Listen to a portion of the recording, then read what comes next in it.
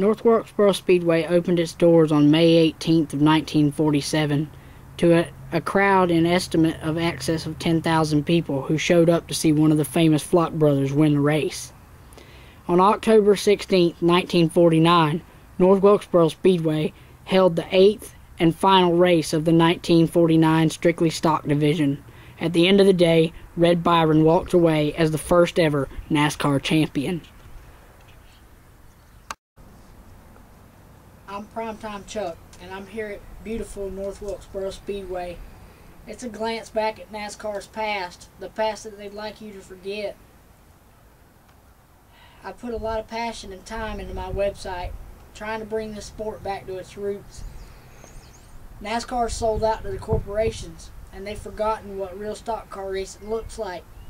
So today, I'm going to show you around this place, and I'm going to tell you a little bit about what stock car racing means to me. I hope you'll enjoy my little short video, and I hope it'll make you think about pressuring the sponsors and NASCAR into remembering what makes racing great. And that's not the corporations and the sponsorships, but the people, the racing, and the racetracks. As I stand here at this once great racetrack on Halloween of 2011, I'm sad to say that this racetrack now looks like a ghost town.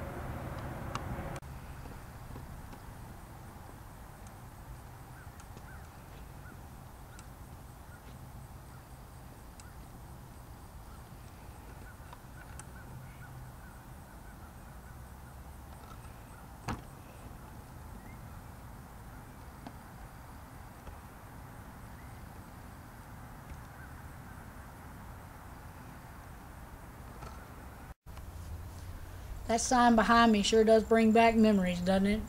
Back when racing was more than a single file lap parade and drivers didn't get out of their car and mumble 500 sponsors before thanking the fans.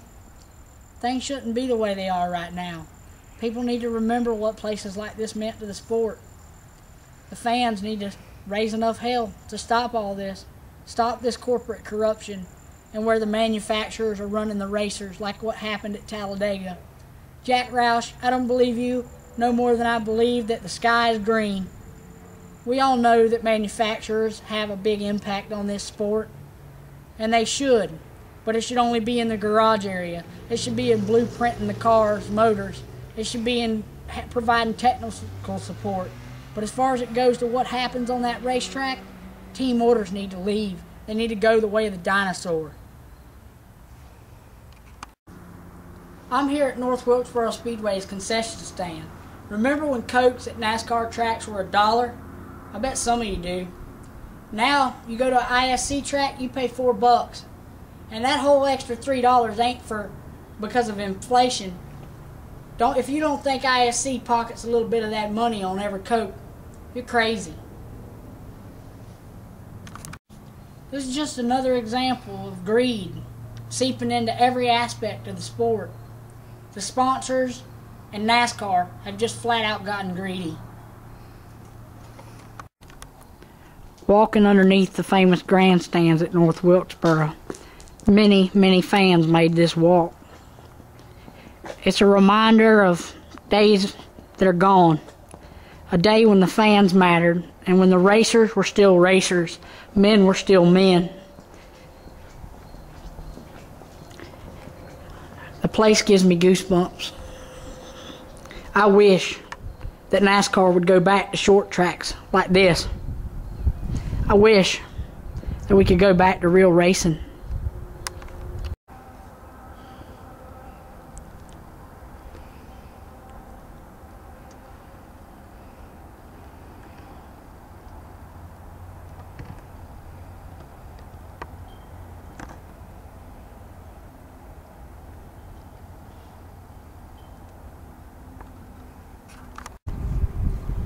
NASCAR's betrayed old tracks like this that made them what they are in favor of going to places like Fontana, settling out for Hollywood. It's a shame. This track's got a lot of life and a lot of history. And the TV re revenues well cover NASCAR's expenses. So for them to say that a place like this is just too small or just isn't worth it anymore, they're fooling themselves. The people in and around this racetrack, the people that grew up around it, love this place. The fans love places like this. The short tracks all across America. NASCAR needs to go back. NASCAR needs to remember. Remember what makes racing racing. Stock car racing is better than IndyCar and Formula One, and one of the main reasons it is is because of the contact. People want to see people rubbing fenders. That cliche in Days of Thunder, it was sad and it makes us laugh, but it's so true. Rubbing is racing.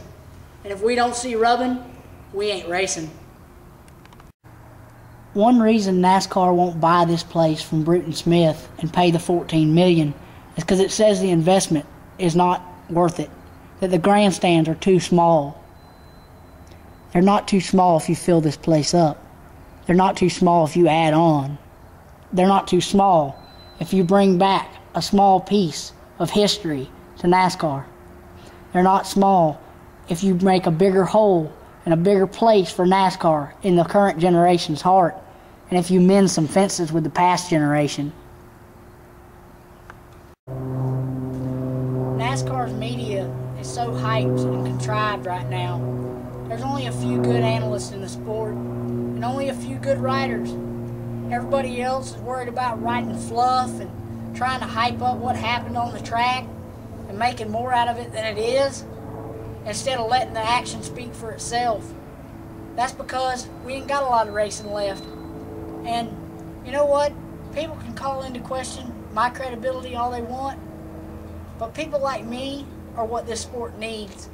You need real media, and you need somebody to stand up against the grain and tell the truth.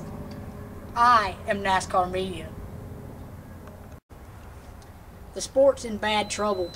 The ratings are down, profit margins are down, everything's going downhill and has been ever since Brian France took over.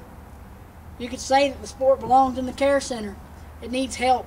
It needs urgent medical attention. And contrary to what NASCAR may tell you, the grandstands ain't empty because of the economy. They're empty because the racing action flat out sucks.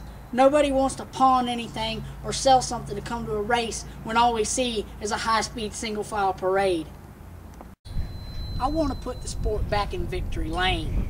I'm in a place that all you so-called fans would love to be. I want you to stop making excuses for NASCAR and start fighting them. Let's get the sport back where we can all celebrate. Woo! Yeah, baby!